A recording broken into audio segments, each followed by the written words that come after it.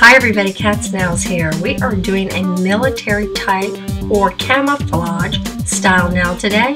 I am going to be using Dazzle Dry products and if you've never used Dazzle Dry before, there's going to be some things that you're going to see while I'm putting together this video that's going to look a little bit odd. Excuse my boo-boo right over there on my thumbnail too. I was debating whether or not to even make this video because I had that. But uh, this is a fun nail. It's really easy to do. But going back to the Dazzle Dry products, you can see there on my middle finger that with one thin coat, it doesn't look like there's a nice coverage. It looks kind of spotty or streaky. Don't worry about it. If you've never used Dazzle Dry, with a second coat, it will actually fill itself out and there is no need to put a first heavy coat or a second heavy coat on. Make sure to keep your coats on the Dazzle Dry thin and it will do an awesome job. Right there to the split screen, you can see how it looks just after two coats.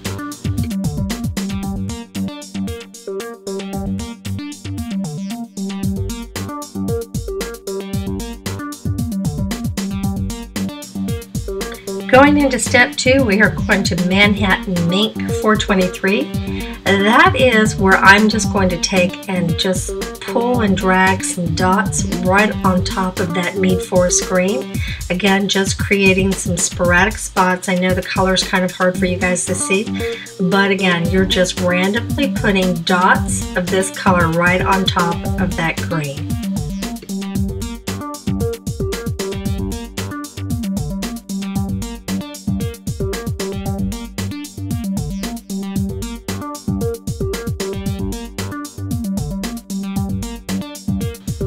Next color is going to be Mystical Voyage 354 and again all I'm doing is randomly dragging and pulling a little bit of that color miscellaneous spots on the nails. Again just creating kind of like that camouflage look.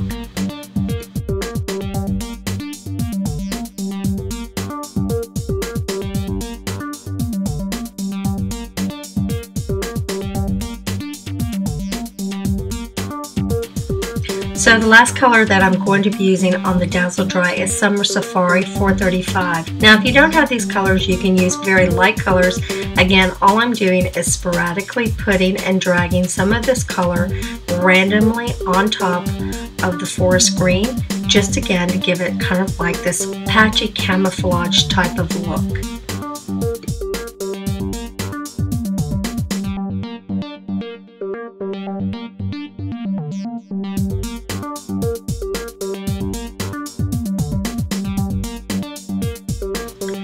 I wanted to add an accent, so I thought an eagle would be kind of cute.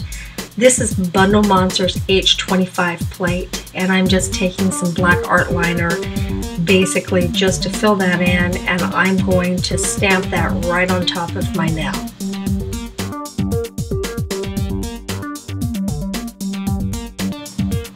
I am not the best stamper in the world. As a matter of fact, that's something I need to work on. And because I'm not a great stamper, what you're seeing me do is I'm taking my eyeliner brush and I'm pulling a little bit of the feathers right back into that design just so that eagle is a little bit more defined in this particular mani.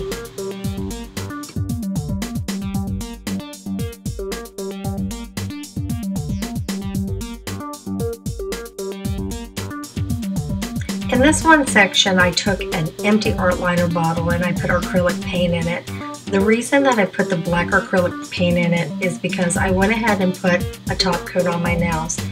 The nice thing about it is if you're practicing and you're trying to figure out how you want to do your lines, you can take a wet cotton ball and just wipe it off if you don't like it.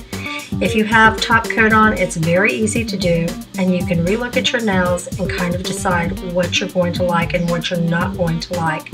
Makes it real simplistic and then you can kind of figure out your design. So if you're playing around a little bit and you say, hmm, maybe would look it this way, maybe I'll make a couple of wispies, maybe I'll kind of do this, maybe I'll make a curly cue, and you don't like it, then again, just take a wet cotton ball and wipe it off. It's no harm, it's very easy to do with that top coat on, and then you can go back and you can actually do what you want to do in the design. So here what I'm doing is I'm just finishing off what I think that I want my design to look like you can do yours any way that you pick.